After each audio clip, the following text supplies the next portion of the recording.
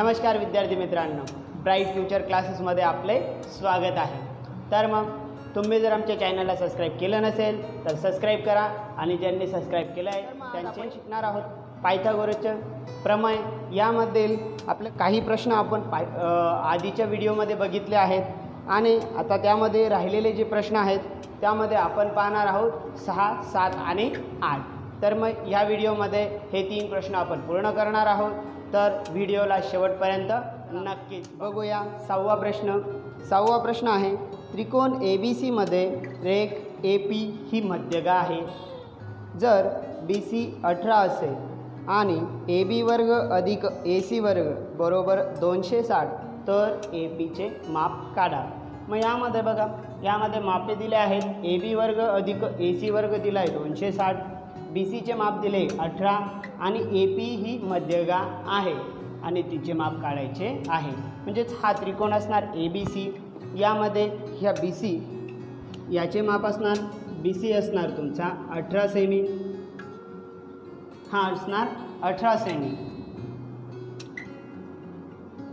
याचे माप अठरा सेमी आणि यामध्ये ही ए बी ही मध्यगा असणार बी सीची म्हणजेच याचे आणि याचे माप इक्वल असणार. तो ह्या दोघांच्या काय असणार? हा बी सीच्या हाफ असणार बी पी आणि बी सी हे दोघं त्याचे निम्मे असणार. मग यावरनं आता काढायचं आहे उकल. त्यावरनं आपण यामध्ये अपोलोनियसचे प्रमेय वापरणार आहोत. मग अपोलोनियसच्या प्रमेयानुसार या दोन्ही बाजूंचा वर्ग हा बरोबर असतो दोन गुणीला ए पीचा वर्ग अधिक दोन गुणीला पी बीचा वर्गाच्या. मग यामध्ये सगळ्यात आधी आपण काढणार पी बीचे माप. मग यामध्ये बघा उकल असणार याची. सगळ्यात आधी घेऊ. उकल. उकलमध्ये बघा त्रिकोण कोणता मिळाला आहे? त्रिकोण ए बी सीमध्ये त्रिकोण ए बी सीमध्ये ए पी ही काय आहे? मध्यगा आहे. ए पी ही मध्यगा आहे. आता ए पी जर मध्यगा असणार तर हे बी सीचे दोन समान भाग करणार. म्हणजेच म्हणून तुम्हाला मिळणार पी बी हा बरोबर असणार पी सीच्या आणि हे दोघं बरोबर असणार एक छेद दोन बी सीच्या म्हणजेच एक छेद दोन बी सीच्या निम्मे असणार पी बी आणि पी सी मग यामध्ये आपण काढणार पी बीचे माप. पी बी हा बरोबर असणार एक छेद दोन बी सीच्या मग यामध्ये मापे लिहिला. पी बी बरोबर एक छेद दोन गुणिला बी सी. बी सी आहे अठरा. म्हणजेच म्हणून पी बी हा मिळणार तुम्हाला बेक बे अठरा. तर याचे माप मिळणार तुम्हाला नऊ. पी बीचे माप मिळाले नऊ. मग यावरनं आता आपण घेणार अपोलोनियसचे प्रमेय. मग अपोलोनियसच्या प्रमेयानुसार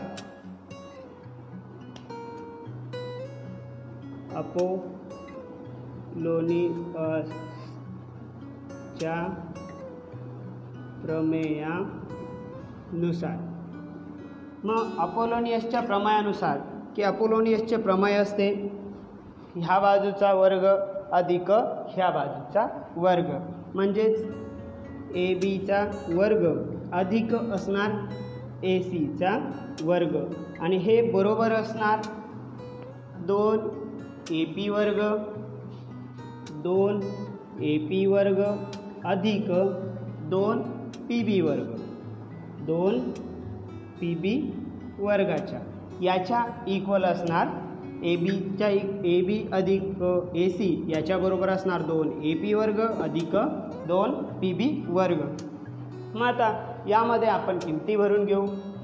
यामध्ये ए बी वर्ग अधिक ए सी वर्ग हा दिला आहे तुम्हाला दोनशे साठ. बरोबर. ए पीचे माप काढायचे आहे. म्हणजेच हा दोन ए पी वर्ग अधिक आता हा दोन गुणीला पी बीचे माप मिळाले. पी बी हा आहे नऊ. तर मग नवाचा असणार वर्ग. मग यामध्ये बघा दोनशे साठ बरोबर दोन ए पी वर्ग अधिक दोन गुणीला नवाचा असणार वर्ग एक्क्याऐंशी. तसेच दोन गुणीला एक्क्याऐंशी मिळणार तुम्हाला. दोन ए पी वर्ग अधिक दोन गुणेला एक्क्याऐंशी होणार. बेक बे बेआटी सोळा. म्हणजेच होणार एकशे बासष्ट. हा इकडे आहे प्लस इकडे येणार तर होणार मायनस म्हणजेच दोन ए पी वर्ग बरोबर असणार दोनशे साठ वजा एकशे बासष्ट. मग आता यामध्ये या दोघांची वजाबाकी होणार. दोन ए पी वर्ग बरोबर मिळणार. दोनशे साठमधनं घ्या एकशे बासष्ट मायनस करणार. उरणार अठ्ठ्याण्णव. हा असणार अठ्ठ्याण्णव. आता हा याला गुंतोय इकडे जाऊन भागणार. म्हणजेच ए पी वर्ग बरोबर असणार अठ्ठ्याण्णव भागीला दोन. तर ए पी वर्ग मिळणार तुम्हाला? बेचोक होणार आठ उरला एक बेन्नम अठरा. तर एकोणपन्नास म्हणजे ए पी वर्ग. आता दोन्ही बाजूंचा वर्गमूळ करणार. ए पी बरोबर मिळणार याचे वर्गमूळ सात. म्हणून ए पी याचे माप असणार सात सेमी म्हणून ए पी बरोबर सात सेमी आहे. याप्रमाणे हे समीकरण सोडवायचे बघूया. सातवा प्रश्न. सातवा प्रश्न हा स्टार क्वेश्चन आहे. आता हा बघूया आपण. त्रिकोण ए बी सी हा समभुज त्रिकोण आहे. त्रिकोण ए बी सी हा समभुज त्रिकोण आहे. पाया बी सी वर पी बिंदू असा आहे. की पी सी बरोबर एक छेद तीन आहे हा बी सीच्या म्हणजेच तो बी सीच्या एक छेद तीन पट आहे. जर पी सीच्या एक छेद तीन पट आहे. बघूया सातवा प्रश्न. सातवा प्रश्न हा स्टार क्वेश्चन आहे. सातवा प्रश्न हा स्टार क्वेश्चन आहे. यामध्ये त्रिकोण ए बी सी हा समभुज त्रिकोण आहे. पाया बी सी वर पी बिंदू असा आहे की पी सी बरोबर एक छेद तीन बी सीच्या जर ए बी सहा सेमी तर ए पी काढा. म्हणजेच एक त्रिकोण दिला आहे की तो आहे समभुज त्रिकोण. म्हणजेच ए बी ए सी आणि बी सी हे कसे आहेत? इक्वल आहेत. यामध्ये हे तिन्हीही इक्वल आहेत. ए बी ए सी आणि हा बी सी. हा आहे इक्वल आहे. आणि यामध्ये यामध्ये हा पी सी हा बी सीच्या काय आहे? एक तीन पट आहे. म्हणजेच पी सी हा एक तीन आहे बी सीच्या आणि ए बी बरोबर आहे सहा. म्हणजे हा हा सहा सेमी आहे. म्हणजेच हाही सहा सेमी असणार. आणि त्याचबरोबर हा पण सहा सेमी असेल. आणि यामध्ये ए पीचे माप काढायचे आहे. ह्या ए पीचे माप काढायचे आहे. मग आता इथपर्यंत येण्यासाठी बघा यामध्ये हा जर समभुज त्रिकोण असेल तर याचा प्रत्येक कोण हा साठ अंशाचा असणार. म्हणजेच हा साठ अंशाचा असणार. आणि यामध्ये हा ए पी इथे आहे. इथपर्यंत यायचं आहे. म्हणजेच यामध्ये बघा ही बाजू माहिती असली पाहिजे ही बाजू. आता ह्या बाजूवरनं ही बाजू काढता येणार. केव्हा जेव्हा तुम्ही याला सिद्ध करणार की हा तीस आहे आणि हा नव्वद. ए डी ही आपण यामध्ये एक लंब दिलेला आहे डी सीवरती ए डी हा लंब असणार डी सीवरती म्हणजेच हा असणार त्यातला नव्वद अंशाचा कोण आता हा नव्वद हा साठ म्हणजे साहजिकच हा असणार तुमचा तीस अंशाचा. मग यामध्ये आपण घेणार तीस अंश साठ अंश नव्वद अंशाच्या गुणधर्मानुसार काय असणार? तर तीस अंशासमोरील बाजू ही ही काय असते? ही असते कर्णाच्या निम्मे असते. आणि साठ अंशासमोरील बाजू ही कर्णाच्या वर्गमुळात तीनशे दोन पट असते. याप्रमाणे आपल्याला ही बाजू मिळणार यावरनं तीस अंशासमोरील बाजू ही काढणार यावरनं साठ अंशासमोरील बाजू ही मिळणार. ही बाजू मिळाली ही बाजू मिळाली तर यामध्ये डी पी काढायचं आहे. डी पी मिळाल्यानंतर पायथागोरसच्या प्रमायानुसार तुम्ही ह्या त्रिकोणाचा कर्ण हा काढायचा आहे. तर मग सगळ्यात आधी आपल्याला आता हा काढायचा आहे डी सी डी सीचे माप काढू. त्यासाठी सगळ्यात आधी या कोणांना सिद्ध करायचे आहे. मग यामध्ये बघा उकल घेऊ या समीकरणाची. उकल असणार. दिलेला त्रिकोण कसा आहे? समभुज त्रिकोण आहे. म्हणजेच त्रिकोण ए बी सी हा समभुज त्रिकोण आहे. हा समभुज त्रिकोण असेल म्हणजेच यामध्ये कोण ए सी डी कोण बी ए बी सी यांचे माप काय असणार? साठ अंशाचे असणार. म्हणून कोण A C B A C B हा असणार साठ अंश. हा असणार त्यामध्ये साठ अंशाचा. तसेच ए डी हा लंब आहे बेसीवरती. म्हणजेच ए डी हा लंब असणार बाजू बेसीवर. बाजू बी सीवरती जर लंब असणार तर म्हणून तो लंब आहे बी सीवर तर कोण? जो मिळणार तुम्हाला ए डी सी हा असणार नव्वद अंशाचा. कोण? ए डी सी बरोबर असणार नव्वद अंश. आता यामध्ये बघा हा मिळाला नव्वद अंश हा मिळाला साठ अंश. मग आपण ह्या त्रिकोणामध्ये त्रिकोण ए डी सीमध्ये त्रिकोणाच्या कोणांच्या मापांची बेरीज असते? एकशे ऐंशी अंश. यावरनं सिद्ध करू की त्रिकोण त्रिकोण ए डी सीमध्ये ए डी सीमध्ये कोण ए डी सी बरोबर आहे नव्वद अंश. आणि कोण A C D A C D हा आहे तुमचा साठ अंश. म्हणून तिन्ही कोणांच्या मापांची बेरीज घेऊ. काय असणार? तर कोण सगळ्यात आधी घेऊ. A D C A D C अधिक कोण ए सी डी अधिक राहिलेला कोण असणार? सी ए डी कोण सी ए डी बरोबर असणार एकशे ऐंशी अंश. हे कशावरनं मिळणार? हे मिळणार त्रिकोणांच्या कोणांची? त्रिकोणांच्या कोणांची बेरीज. असते एकशे ऐंशी. या गुणधर्मानुसार हे मिळणार. मग यामध्ये तुम्हाला मिळालं आहे ए डी सी हा आहे तुमचा नव्वद अंश. अधिक ए सी डी हा मिळाला आहे साठ अंश. अधिक सी ए डी याचे माप काढायचे आहे. कोण? सी ए डी बरोबर असणार एकशे ऐंशी. मग यामध्ये यांची बेरीज मिळणार तुम्हाला एकशे पन्नास. अधिक कोण? सी ए डी बरोबर असणार एकशे ऐंशी. हा इकडे प्लस आहे. अधिक आहे इकडे येऊन वजा होणार. म्हणजे कोण? सी ए डी बरोबर असणार एकशे ऐंशी वजा एकशे पन्नास. म्हणून कोण सी ए डी बरोबर मिळणार तुम्हाला? तीस. तर मग यामध्ये सी ए डी मिळाला तीस अंश.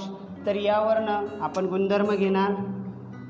तीस अंश साठ अंश नव्वद अंश.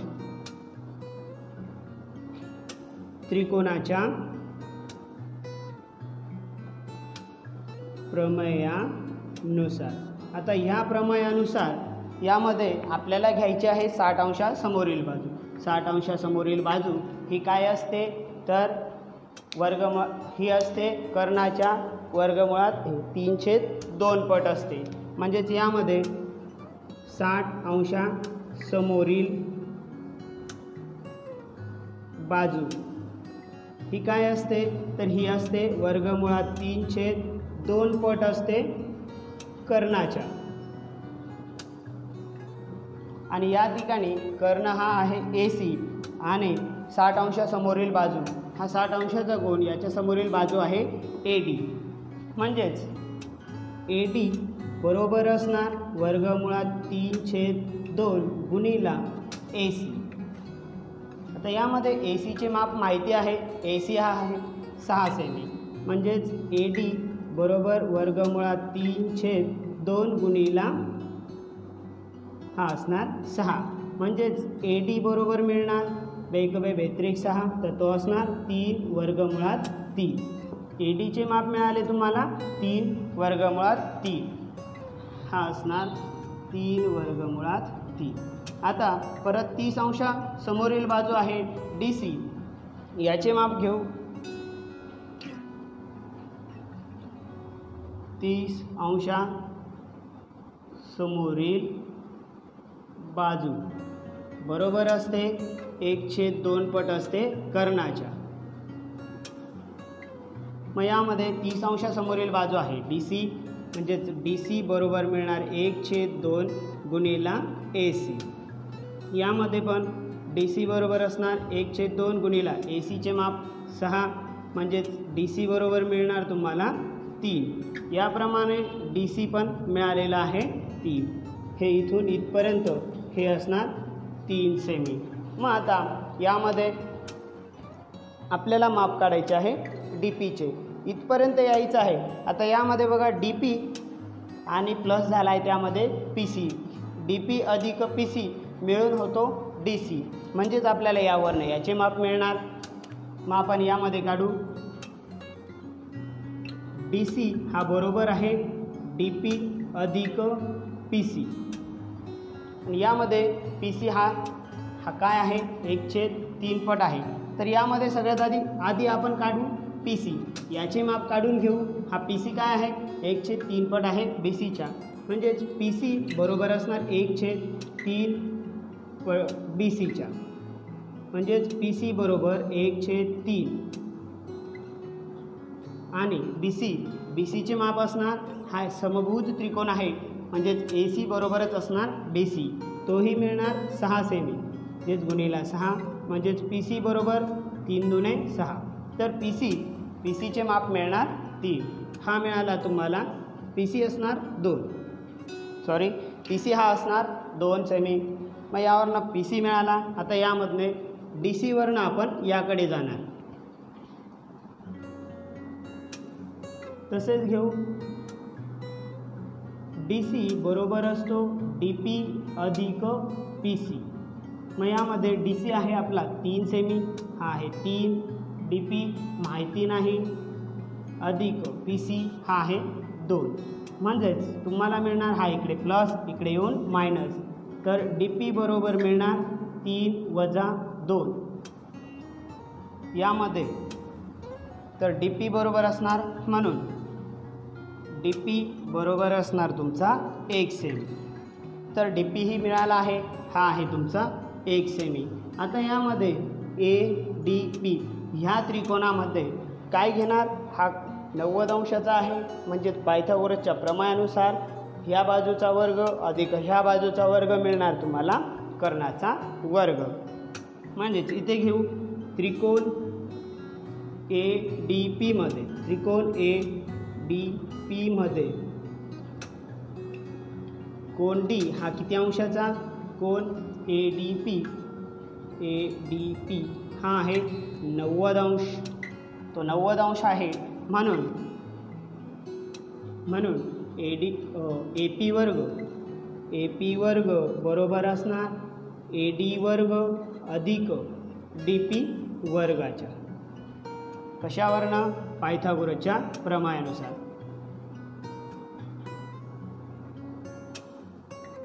प्रमेयानुसार तर याप्रमाणे यांचे माप मिळणार. आता यांचे माप लिहू तर ए पी वर्ग बरोबर ए डी ए डीचे माप मिळाले तीन वर्ग मुळात तीन. यांचा वर्ग अधिक. डी पी मिळाला एक एकाचा वर्ग. बरोबर असणार तीनाचा वर्ग मिळणार नऊ. गुणेला हा वर्गमुळात याचा वर्ग होऊन ती संख्या येणार बाहेर. अधिक एकाचा वर्ग एक. म्हणजेच नऊ त्रिक होणार सत्तावीस आणि एक मिळणार अठ्ठावीस. म्हणजेच ए पी वर्ग बरोबर मिळणार अठ्ठावीस. आता या संख्येला याचा वर्गमूळ करणार याचाही वर्गमूळ करा. म्हणजेच ए पी बरोबर असणार वर्गमुळात अठ्ठावीस. तर याला याचे अवयव पाडायचे. ए पी बरोबर असणार वर्गमुळात चार गुणीला सात म्हणून. इकडे लिहू म्हणून. ए पी बरोबर असणार. हा वर्गमुळात चार बाहेर येणार. दोन वर्गमुळात सात. तर ह्या पद्धतीने ए पीचे माप मिळणार आहे. या पद्धतीने हे समीकरण सोडवायचे आहे.